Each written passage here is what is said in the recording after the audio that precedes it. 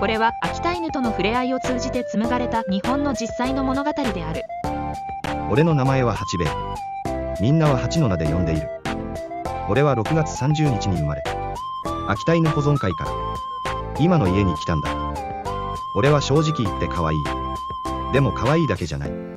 ノーアルタカは爪隠すってやつだな。俺の場合本当に牙と爪が隠されていた。ただ隠しきれずついつい出しちまった。俺はアズカトラス囚人服を着ることになった。俺はゲージから抜け出すため海にダイブした。失敗した。生後4ヶ月の俺には無理だった。